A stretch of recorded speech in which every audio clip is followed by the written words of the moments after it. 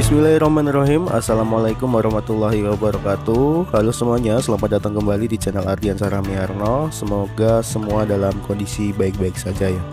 Perjalanan kali ini saya mulai dari Kerisa, Selogiri, Wonogiri teman-teman. Nah kali ini saya pengen tahu nih kondisi jalan lingkar kota Wonogiri Seperti apa ya kondisinya sekarang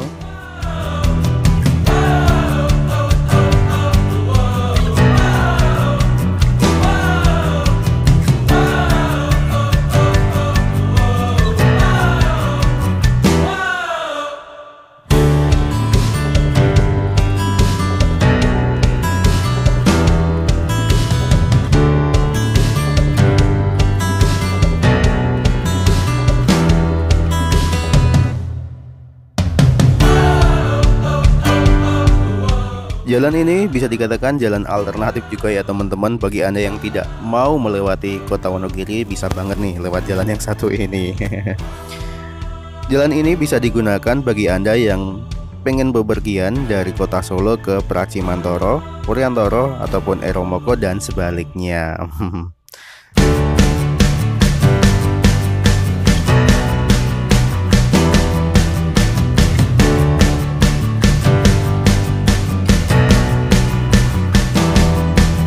Untuk cuaca hari ini sangat bersahabat sekali teman-teman.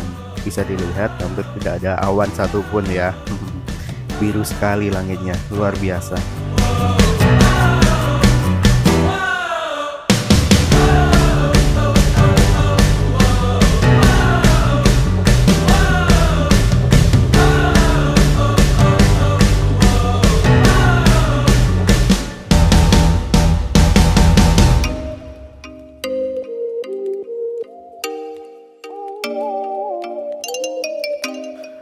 Kita sedikit flashback ya teman-teman. Jadi untuk jalan lingkar kota Wonogiri ini Panjangnya sendiri sekitar 15,5 km Dan dibagi menjadi dua segmen Yakni segmen satu dari desa Bulu Sulur ke Pencil Sepanjang 8,7 km Serta untuk segmen duanya sendiri dari Mapol Res Wonogiri ke desa Singodutan Ataupun Kerisa ya sepanjang 6,8 km Untuk pengerjaannya sendiri ini bisa dikatakan lama juga ya teman-teman.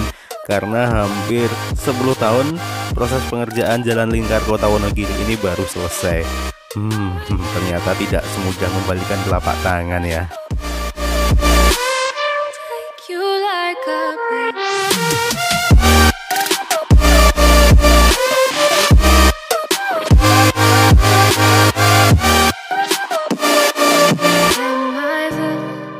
Jalan lingkar kota Wonogiri ini awalnya dikerjakan pada tahun 2010 ya teman-teman dan sempat terhenti pada tahun 2018 serta lanjut lagi pengerjaannya pada tahun 2019 dan pada akhirnya jalan lingkar kota Wonogiri ini jadi ataupun selesai pengerjaannya pada tahun 2020 kemarin.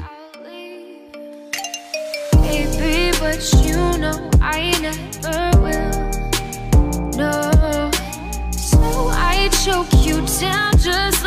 Jalan lingkar kota Wonogiri ini diharapkan bisa menjadi jalan alternatif ya teman-teman untuk pengalihan kepadatan lalu lintas di kota Wonogiri. Selain itu, eh, Bupati Wonogiri juga berharap jalan ini bisa berkontribusi positif untuk menurunkan angka kemiskinan di Kabupaten Wonogiri.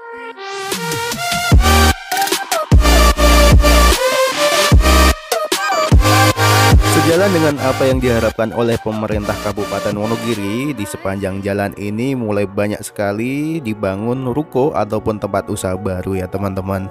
Luar biasa.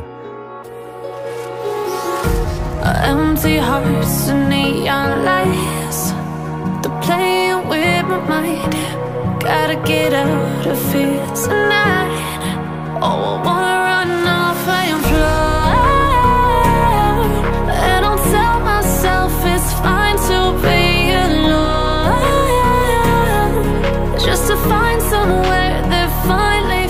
Sepanjang perjalanan kita akan disajikan oleh pemandangan yang sangat luar biasa indah teman-teman.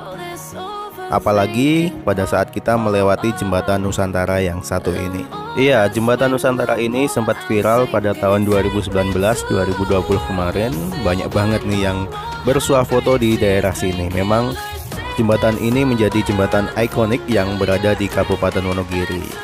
Anda sudah pernah ke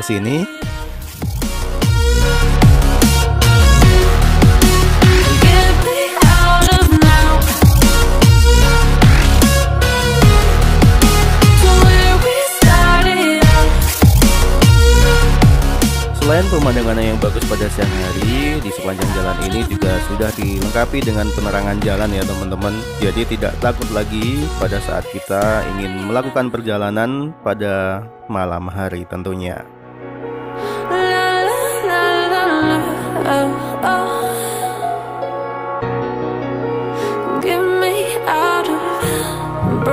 Sebelum kebijakan PPKM diberlakukan, jalan ini sudah dilewati oleh kendaraan berat ataupun besar ya teman-teman, seperti halnya bus antar kota antar provinsi.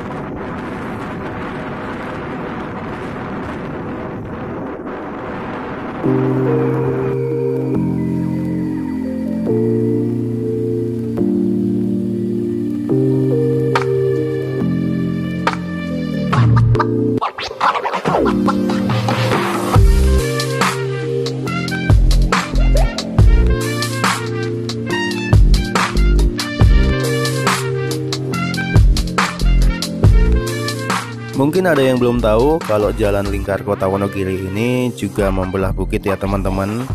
Nah di situ juga kita harus ekstra hati-hati karena memang daerah rawan longsor ya. Bahkan pada musim penghujan kemarin Jalan ini sempat ditutup selama dua kali karena terjadi longsoran yang cukup parah dan menutup badan jalan, sehingga jalan tidak bisa dilewati.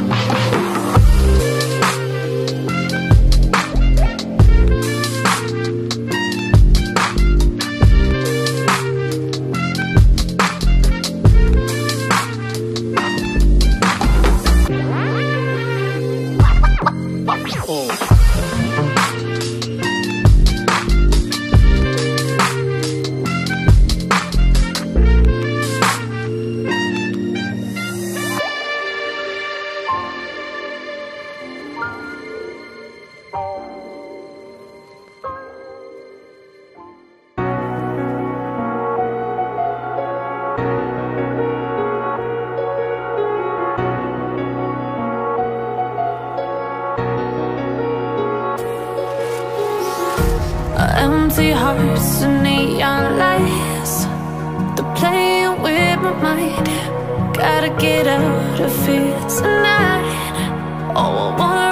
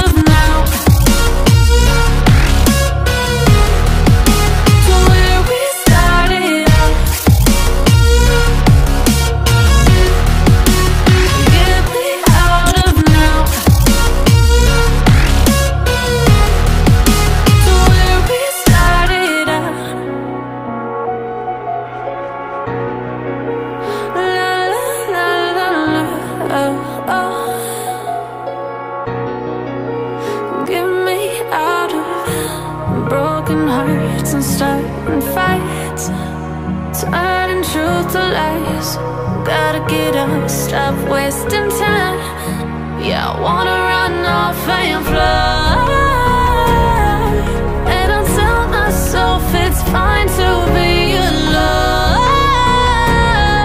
Just to find somewhere that finally feels like home. Oh, oh, oh. Dan pada akhirnya kita selesai juga teman-teman menelusuri jalan lingkar kota Wonogiri segmen 2 ya Dari Krisa menuju ke Mapolres Wonogiri. Dengan demikian maka selesai juga video kali ini. Semoga tetap bermanfaat. Jika banyak salah ataupun kurang saya mohon maaf. Dan nantikan video saya selanjutnya. Terima kasih. Wassalamualaikum warahmatullahi wabarakatuh